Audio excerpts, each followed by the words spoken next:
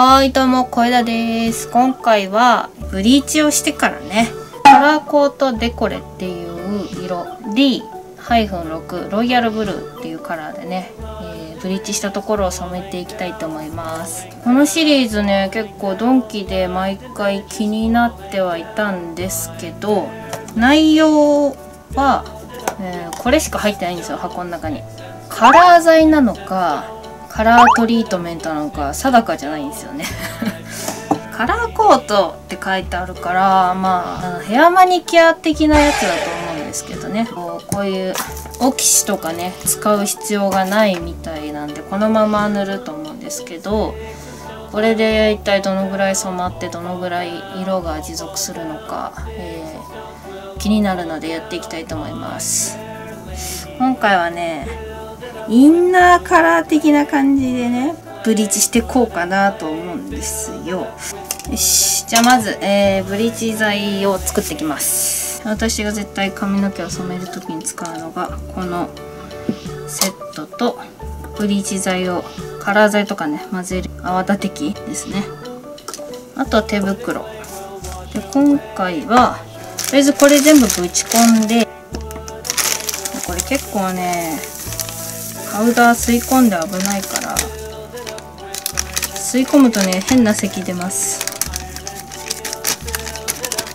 結構舞うんで気をつけてください。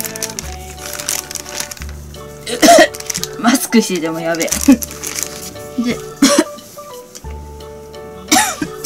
約 60g ですね。だよね。うん。60g あるからじゃあ、えー、オキシを 180g 入れてきます。うん。はい。で結構ダマになりやすいのでそことかね。念入りに混ぜてきます。はい。これでできました。はい。じゃあブロッキングしていきます。これいいんじゃないの？うん。後ろは根元までやらないんで適当で。眉毛すげえ剃ったから。ない。怖いね。じゃあやっていくか本当はね皮膚とかにつかない方がいいと思いますよ。手痛い傷あるとこ痛いうん絶対素手でやらない方がいいと思いますよ。特に肌弱い人はね。よしで後ろ濡れてるかチェック。このリクルマーのブリーチパウダーは30分まで放置できるんで30分放置します。はい、えー30分置いて流して、えー乾かしました。こうやって見るとね目立たないんだけどこうやってやるとね。で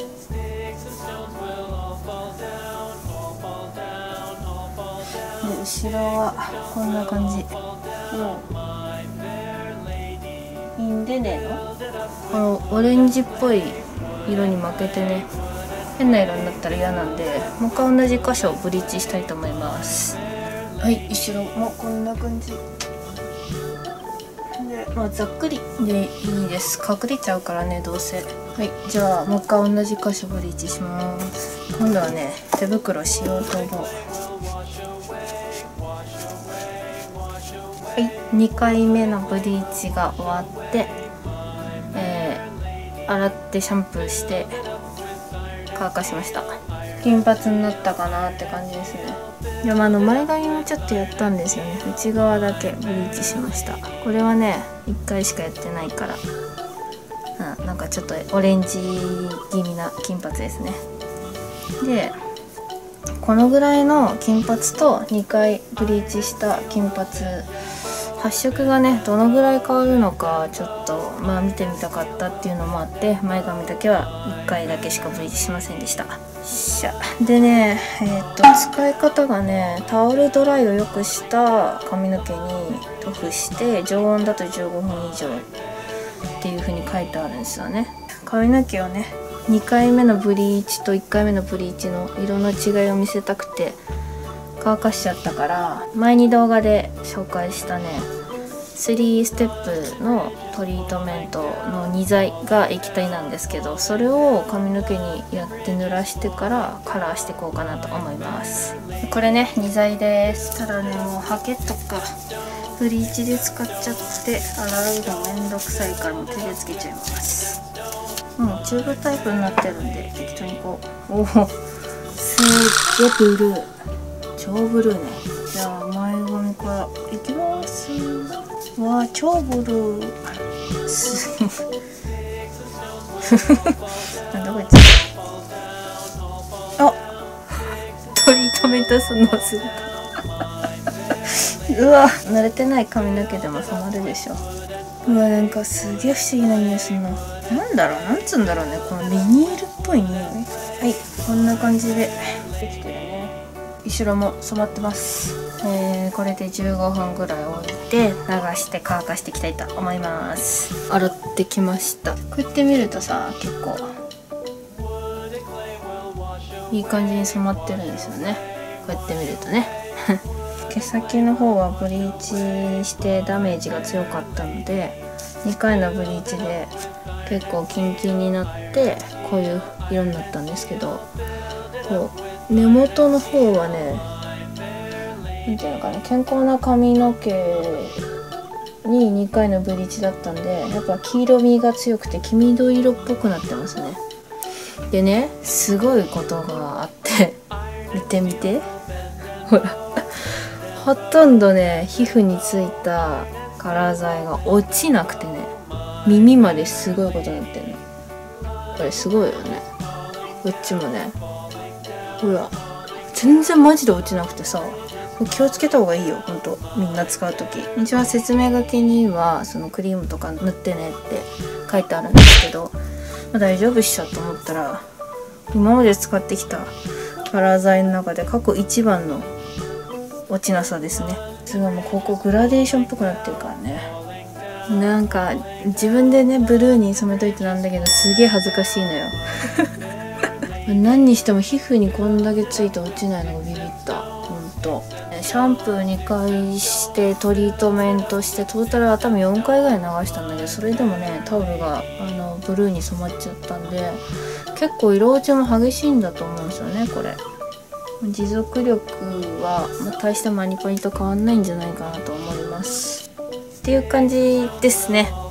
2週間経過写真も載せていきます。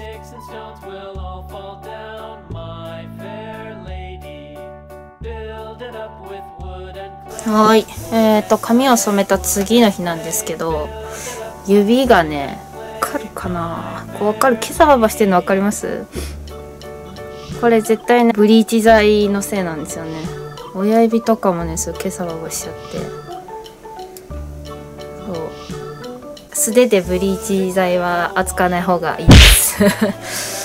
ちょ手袋がね個数がなくてちょっとケチっちゃったから素手でやったんですけど1日経った頭ですね。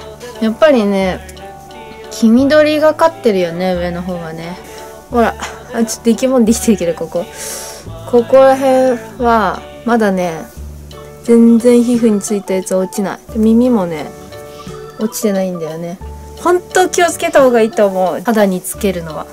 イヤーキャップとかあったんだけどやればよかったな。2日目3日目か。かな。ん？2日目？なんか色はそんな劇的に変わった感じはしないですね。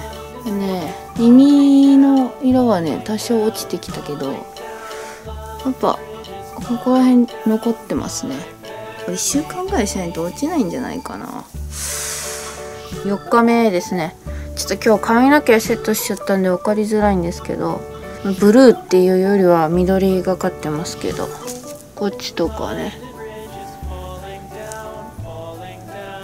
はいって感じです。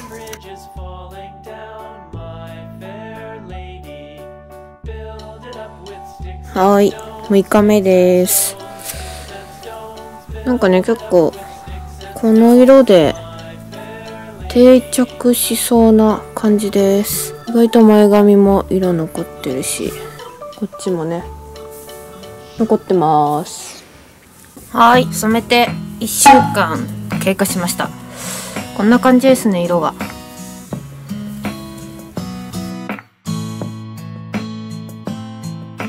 ブルーっていうよりもグリーンになっちゃいましたね。まあ1回のブリーチでも色は結構青っぽく染まったんで2回もわざわざやる必要ないですね。ただえーとまあ、健康な髪の毛にブリーチすると2回でも結構黄色み残って緑色っぽくなってるんで綺麗な透き通ったグリーンまたはブルーにしたければ2回3回ブリーチする必要があるかなと思います。昨日のお風呂上がりもやっぱ白いタオルで拭いたらタオルが淡い水色に色がついてたんでまだまだ色落ちしそうですね。基本こんな感じで色が定着すると思います。で1週間使い続けて思ったのが髪の毛にというよりも頭皮にすごい色残りがしてて外出して一日過ごして帰ってくると結構ここら辺にね塗料っていうんですかね。その染め粉多分おそらく頭皮についた染め粉がポロポロここら辺についてるんですよね。でこうやって触ると結構指先にこう今もなんかブルーのついてるんですけど爪の間にね。あこれこれ見えるかな？こここら辺になんか細かいんですけどついてるんですよね。それはだいたい頭皮からなんか剥がれ落ちてるみたいなんで染めるのに使うのは全然色残り的にもねおすすめするんですけどダメージも全然ないから。だけどね全部髪の毛は染めるよりもこうポイントカラーとかで毛先とかねを染めた方がまあ後々面倒くさくないのかなとは感じました。ということで今回は以上になります。またね